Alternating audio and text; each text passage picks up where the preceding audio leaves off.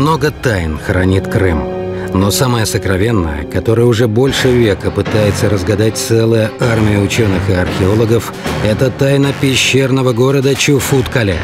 На его белесых скалах практически нет почвы, а значит нет и культурного слоя, скрывающего загадки веков и тысячелетий. Немногие рисковали проникнуть внутрь, а те, кому это удавалось, не торопились поделиться увиденным и тем более сделать какие-то собственные выводы. Тайна пещерных городов Крыма не имеет столь глобального значения для человечества, как, скажем, тайна сотворения мира. Однако предпринималось немало попыток раскрыть ее. Многие исследователи утверждают, что искать ответ на загадку крымских пещер – дело безнадежное. Но так считают не все.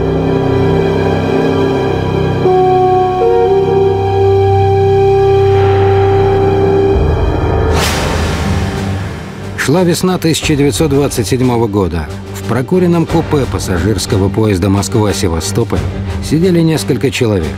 Они старательно изучали топографические карты Горного Крыма и иногда обменивались фразами и терминами, мало понятными окружающим.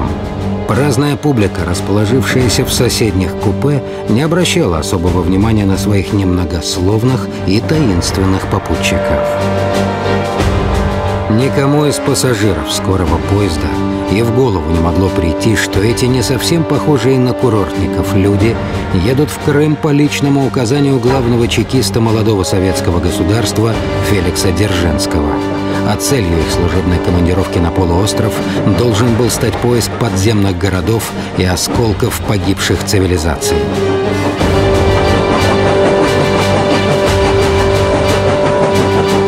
Руководитель экспедиции Александр Васильевич Барченко смотрел в окно вагона и вспоминал прожитые годы, проведенные в опасных научных экспедициях, кропотливую работу в библиотеках и архивах.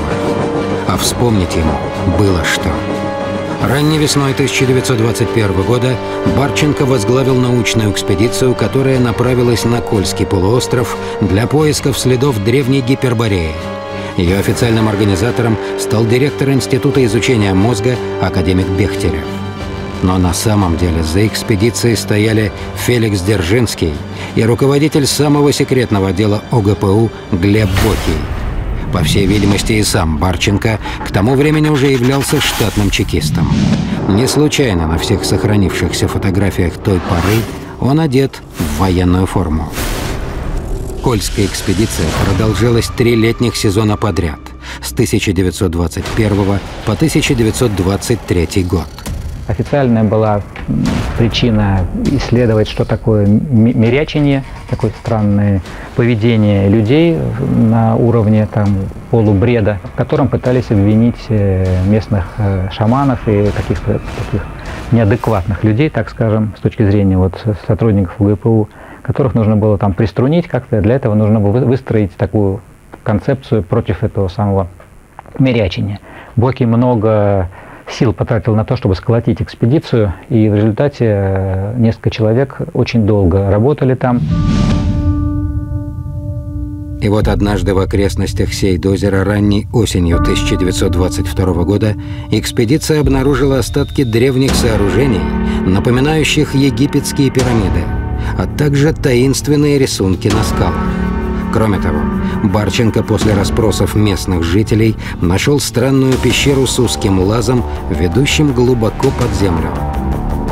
Члены экспедиции неоднократно пытались проникнуть вглубь этого лаза, но всякий раз возвращались обратно, гонимые прочь необъяснимым и жутким страхом. По мнению Барченко и его единомышленников, этот лаз был одним из тех мест, благодаря которым человек мог проникнуть внутрь Земли. Дневники Кольской экспедиции были тщательно засекречены и спрятаны в архивах спецотдела по криптографии. А сам доктор Барченко, по указанию начальника того же спецотдела Глеба Бокия, стал готовиться к новому путешествию – в Горный Крым. Экспедицию курировал лично Феликс Дзержинский с соблюдением строжайшей конспирации.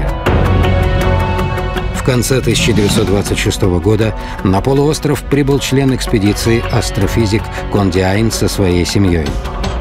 Он поселился в деревушке Кырк-Азислар на месте современного Бахчисарая. Астрофизику была поставлена задача провести разведку будущих объектов исследования и вступить в контакт с местными жителями, чтобы завербовать надежных проводников. В марте следующего года туда же прибыли Александр Барченко и несколько его коллег – что же так заинтересовало чекистов в Крыму, что они снарядили на полуостров целую экспедицию? Стали поступать любопытные сведения из района Чуфуткале, э, подземного города. Первые группы исследователей местных крымчан, даже вот сейчас 20-е годы, пытались забраться в какие-то подземные галереи этого подземного города, которые были еще ниже вот э, средневекового Чуфуткале они обнаружили огромные завалы.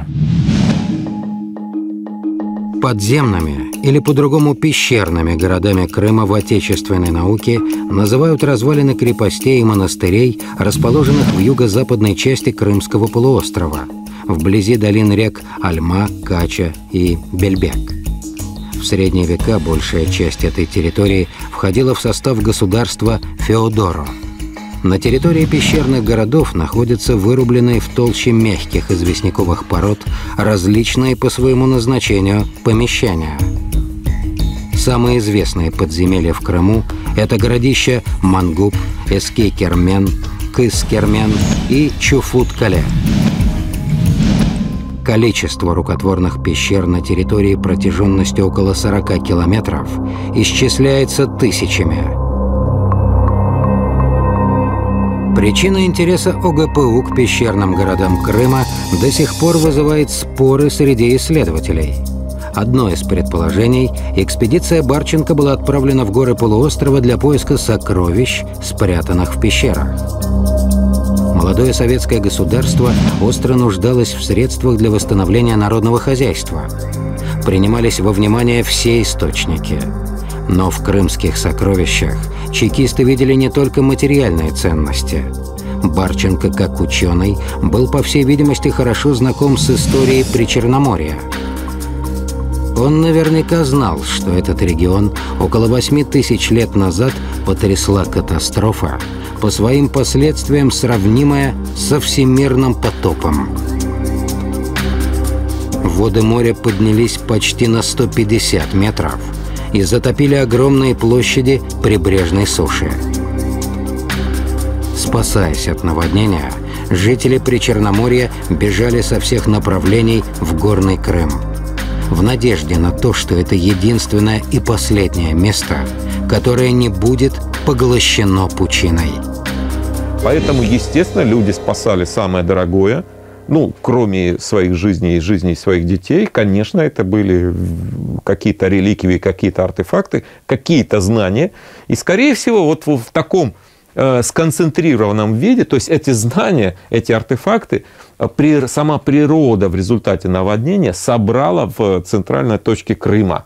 И, скорее всего, до сих пор э, это хранилище и существует под одной из вершин Крыма. Вполне вероятно, что на поиски этих древних реликвий знаний и была отправлена экспедиция ОГПУ. А поводом к детальному изучению пещер послужила информация, что местные жители, исследуя катакомбы, наткнулись на более древние галереи, чем хорошо изученные помещения, если так можно сказать, верхнего уровня. В средние века значительная часть галерей использовалась монахами. Они обустраивали там храмы и скиты.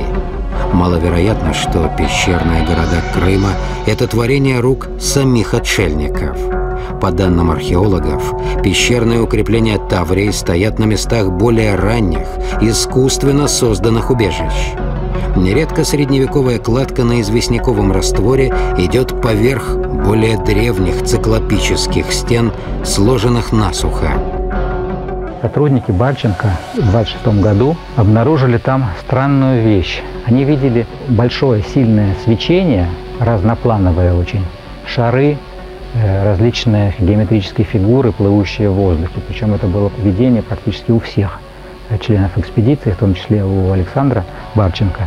Такое ощущение, что кто-то говорил, произносил какие-то тексты какое-то вещание шло на каком-то непонятном языке. Язык никто не мог определить, но люди все понимали. Это вот э, иногда так проходит сугестия, то есть внушение наяву. Все это может показаться небылицей, но, как оказалось, не только экспедиция Барченко столкнулась с явлением сугестии. В начале 90-х годов бывший моряк-подводник Виталий Гох обнаружил в Крыму пирамиды по размерам и геометрическим пропорциям, напоминающие египетские. Их высота колебалась от 36 до 62 метров. В течение многих веков эти громадины ускользали от внимания как местных жителей, так и ученых по очень простой причине. Все 37 крымских пирамид, располагающиеся в четырехугольнике Севастополь, мыс Сарыч, Ялта-Бахчисарай, были полностью занесены современными отложениями.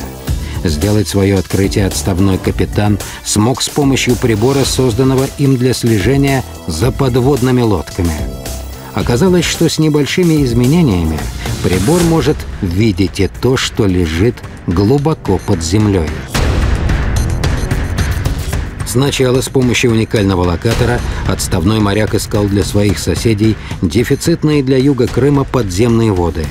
Но вскоре выяснилось, что прибор реагирует и на пустоты, и на металлы, скрытые в земле.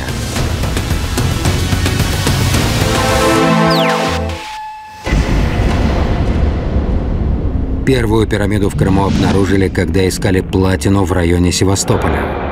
Среди археологов ходили слухи, будто в древности здесь проводили плавку этого драгоценного металла.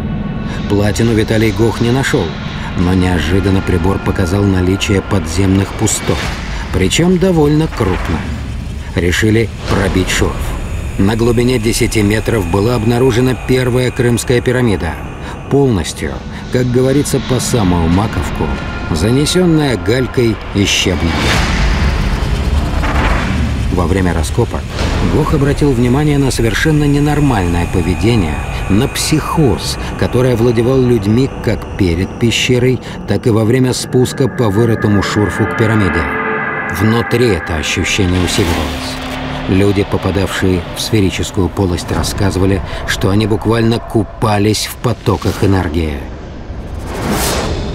Это действует э, просто удручающе, но без последствий. Некоторые невосприимчивы к таким вещам. Некоторые слишком восприимчивы и уже там, на подходе к этой пещере им начинает мерещиться, что там э, их ждет что-то неприятное. В любом случае ходить туда просто так э, ни в коем случае нельзя. Во-первых, нужен проводник, и во-вторых, есть места, куда просто ходить нельзя. Это как бы запретные зоны. Когда реальность пирамид была подтверждена раскопками, Гох обратил внимание, что их расположение практически совпадает с энергетически активными зонами, находящимися в глубине Земли около Ялты, Севастополя, Бахчисарая и давно уже покинутого городища Мангот. Поэтому есть еще одна версия, что могло послужить истинным поводом для отправки экспедиции во главе с Барченко в Крым – изучение воздействия на психику людей энергетического поля пирамид. Правда, об их существовании в то время еще не было известно. Зато сохранились древние легенды, свидетельствующие о том, что недалеко от Севастополя, в районе древнего пещерного города Эски-Кермен, прикрывающего с моря крупный порт Византийской империи Херсонес, случались массовые воздействия на психическое состояние людей – в них же рассказывалось о том, что когда городу угрожала опасность с моря, то с фрески подземного храма сходил святой Георгий Победоносец и своим копьем поражал экипажи вражеских судов, подплывавших к городу. И тогда одни моряки, объятые ужасом, поворачивали прочь от берега, другие, как будто пьяные, плыли прямо на скалы и находили там свою гибель. Не обратить внимания на эти легенды руководитель лаборатории нейроэнергетики Барченко не мог. Более того, мифологические сюжеты могли стать главным аргументом для обоснования необходимости экипировать и отправить в Крым специальную секретную экспедицию. К этому можно добавить еще один любопытный момент. В начале 1926 года в Москву вернулся с Тибета знаменитый художник и востоковед Николай Рерих, который встретился с шефом секретного спецотдела ОГПУ Бокем. Бокий тогда познакомил Рериха с результатами северной экспедиции Барченко, где исследователи искали причины сильного энергетического поля в районе Сейдозера – Тогда впервые зашла речь о космическом камне или по-другому кристалле Сариона, играющего важнейшую роль в истории человечества. Этот осколок якобы передается правителям, избранным для выполнения особой миссии на Земле. Согласно предположениям, кристалл Сариона мог быть погребен под руинами Гипербореи, древнейшей цивилизации, существовавшей на севере – Вероятно, его и искал на сей дозере Барченко. Рерих, выслушав эту историю, назвал другое место предполагаемого нахождения магического кристалла – Крым. И чекисты ухватились за эту версию. Я напомню, что руководители органов в те годы, когда Барченко занимался своими космологическими исследованиями, были э, люди, далеко не лишенные э, вот этих самых космологических э, знаний или даже амбиций. И увлечь тогдашнее руководство НКВД некими космическими знаниями, то, что сейчас, может быть, считается признаком лженауки и некой желтизны на телевидении и желтизны в СМИ – тогда воспринималось, э, к слову сказать, по секрету скажу, и сейчас воспринимается продвинутыми руководителями органов как э, вполне себе достойное руководство к действию. О вероятности существования в Крыму мощного энергетического источника, в котором исследователи хотели увидеть тот самый кристалл Сариона, говорили и другие легенды, и даже реальная история – Например, морская катастрофа у Балаклавы в 1909 году. Одна из самых совершенных в то время подводных лодок Камбала погибла под форштевнем эскадренного броненосца «Ростислав». Опытный морской офицер, лейтенант Аквилонов, стоявший на мостике субмарины, неожиданно, как и моряки из древних легенд, впал в блаженное состояние, то есть в эйфорию. Он читал стихи вместо того, чтобы изменить курс подводной лодки. Судебно-медицинская экспертиза показала, что капитан подводной лодки в момент катастрофы был трезв, не находился под воздействием наркотиков и признала его вменяемым. Значит, подводника вывел из психического равновесия некий таинственный поток энергии. Не источал ли его тот самый магический кристалл, искать который в 1926 году отправилась экспедиция Барченко. Впрочем, некоторые исследователи весьма скептически относятся к подобного рода историям и легендам. И не потому, что они кажутся фантастическими. Напротив, они считают, что гипотеза существования магического кристалла Сариона вполне имеет право на жизнь. Ведь недаром об этом камне есть много упоминаний в античных летописях. Дело в самой легенде для экспедиции, работающей в условиях строжайшей конспирации. Когда хотят э, скрыть, по крайней мере, для своих коллег истинную задачу поисков, чаще всего называют то, что находится на поверхности. Хочешь э, скрыть глубоко законспирированную, глубоко засекреченную операцию, придумай какую-то фантастическую версию. Кстати, причина гибели субмарины Камбала и странного поведения командира лодки все-таки выяснилась. После окончания Второй мировой войны в Крыму работал известный немецкий исследователь аномальных явлений Ойген Зеберт с помощью рентгеноскопических приборов, позволяющих фиксировать различные виды природного и техногенного воздействия на человека, немецкий физик определил, что причиной странного поведения офицера Аквилонова стали сверхнизкочастотные звуки, возникающие при некоторых атмосферных явлениях в районе Скикермен. То есть это было природное воздействие, а не техногенное, и уж тем более не магическое.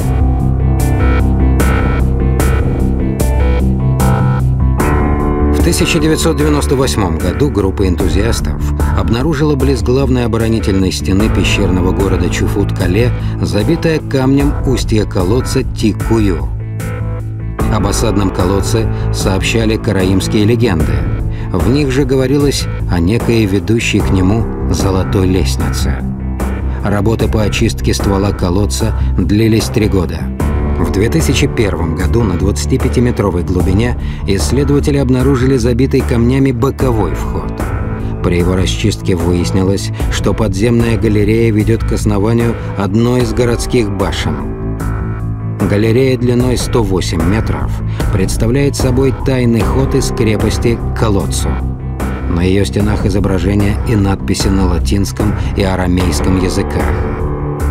По сталактитам, которые находятся на ее потолке, удалось выяснить ее возраст – около двух тысяч лет. Однако место пересечения круглого ствола с галереей не было дном колодца.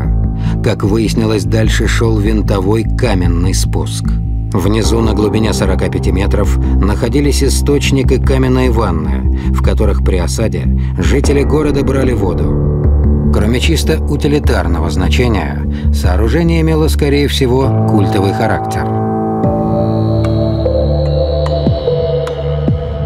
Галерея, ведущая к колодцу, ориентирована строго на восток.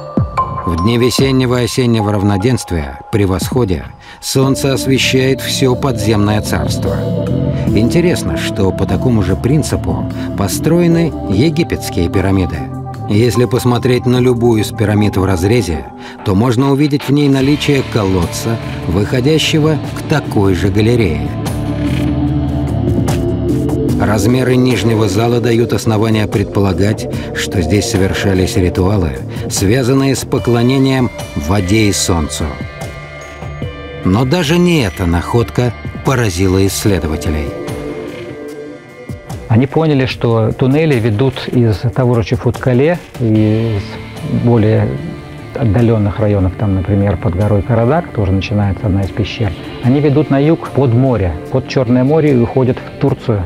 И в Турции тоже нашли такие пещеры. Недавно вот один из исследователей, Александр Калтыпин, рассказывал мне о том, что он был свидетелем странных тоже объектов, которые там а, наблюдались именно в этих пещерах, такие же и странных животных, которые водятся, например, в озере Ван, вот, э, родственников карадакского чудища. Вот. Связь есть абсолютно четкая между всеми этими регионами, этими явлениями. Осталось связать это по времени и по какому-то пространству еще более-менее. Главное, нужно исследование. Не исключено, что экспедиция Барченко как раз и искала некие тайные ходы, которые соединяют под землей целые страны и даже континенты. Но при наличии технических средств начала 20 века сделать подобное открытие в ту эпоху было невозможно. Впрочем, и сегодня это осуществить весьма затруднительно. И дело не в том, что не найдется высокотехнологического исследовательского оборудования. Нет самого главного – воли и мотивации. Поэтому пещерные города Крыма еще долго будут хранить свои тайны. Но если их удастся раскрыть, это будет самой настоящей сенсацией глобального масштаба.